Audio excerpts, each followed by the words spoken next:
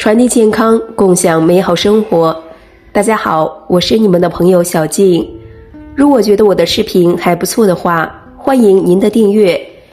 人体各大器官都有自己的使命，从而维护机体的正常运转。其中肾脏也有自己的使命。肾有三大功能：一、生成尿液，维持水的平衡；二、排出人体代谢有毒物质。肾脏在人体当中起着举足轻重的地位，所以一旦出现了问题，身体其他部位也会出现问题。中医有种说法叫“想长寿，护好肾”，由此可见，肾脏对人体意义是十分重要的。现在由于人们饮食和作息不规律，导致很多人肾脏开始出现了问题，因此在养生当中，肾脏是重点保护对象。肾脏出现问题，表现症状为：一、水肿。肾脏管理体内液体运行，肾脏毒素堆积后，排出多余液体的能力就会下降，这个时候就会出现水肿。二、面部会长痘。肾脏的排毒功能不足，导致体内毒素长期堆积过多，对于体内器官功能有损，以及分泌失调。进而引起体表产生皮肤上的一些问题。三、月经量少，或者是经期短、颜色暗。月经的产生和消失都是肾功能是否旺盛的表现。由于肾脏中有很多毒素，经血就会减少。四、容易疲倦，身体内的毒素消耗了肾的能量，肾提供的能量减少，于是就会出现疲倦、神疲嗜睡。这样出现一些症状，就说明肾脏毒素已经严重超标了。这个时候，我们一定要给肾脏排出毒素。今天给大家分享一个食疗方法，可以帮我们排出多年的肾毒。首先，我们来准备十克陈皮。陈皮相信大家都不陌生，在日常生活中，它是一种很常见的食材，也是一味中药材。陈皮有很好的促进消化的作用，陈皮中所含的挥发油对胃肠道有温和刺激，可以促进消化液分泌，排出肠管内积气。陈皮泡水能够去除体内湿气，有很好的祛湿保健效果。由于慢性肾病存在肾病问题，肾病也可以多食用一些陈皮，帮助排出多年肾毒。也可以帮助排出肾脏中一些小的结石。陈皮还可以润肺化痰，陈皮可以帮助我们健脾理气，可以将肺中的一些痰液排出体外。所以，如果是肺中痰液比较多、咳嗽痰多这种情况比较明显，也可以使用一些陈皮水。另外，陈皮还有一个作用就是健脾理气。如果是脾胃运化比较差，造成身体湿气特别重，这时候呢，喝一些陈皮水，可以帮助我们温脾，温脾就可以帮助我们助运化、助消化。所以陈皮它是一种特别好助运化、助吸收的一种食材，多喝一些陈皮水，对于身体健康是特别有帮助的。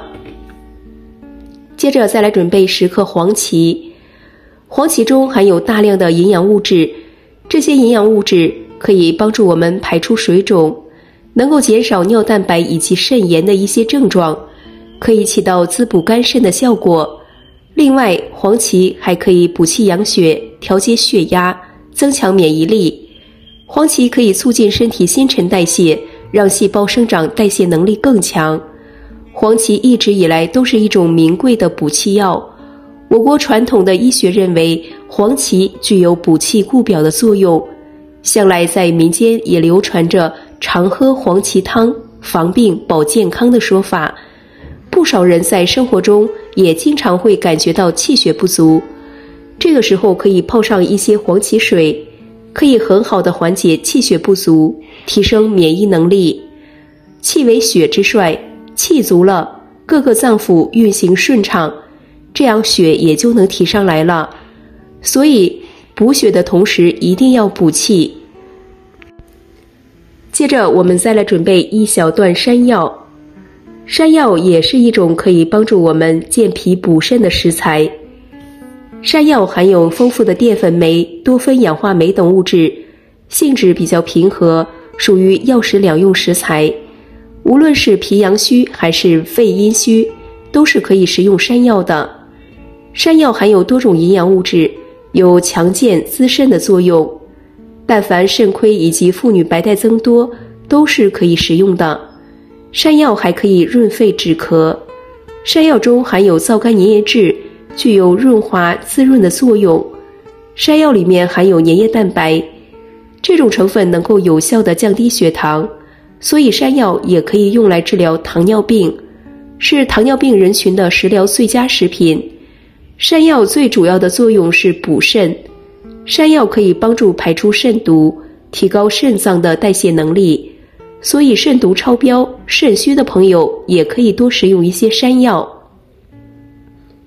接着，我们再来准备十克枸杞。中医认为，枸杞归肝肾经，主要功效是滋补肝肾，能够有效的帮助肝脏排毒，提高肝脏的代谢能力。枸杞一次用量不需要太多。如果是补肾的话，一天二十到三十粒就可以了。我们可以直接吃枸杞，对于肾虚的朋友是很有帮助的。肾虚的朋友经常会出现腰膝酸软、四肢无力，男性会出现遗精、滑精的症状，这都是肾虚的表现。这时候呢，我们可以多食用一些枸杞，可以帮助我们来。调节肾虚的一些症状。接下来，我们把准备好的食材倒入养生壶中，然后再加入适量清水，把食材煮上三十分钟。朋友们、家人们，视频看到这里了，麻烦您动动您发财的小手，给我点个赞吧。您的支持和鼓励是我前进的最大动力。三十分钟之后，再把枸杞倒进来。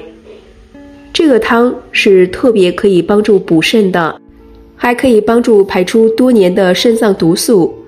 肾脏毒素没有了，这样整个人的精神都会好很多。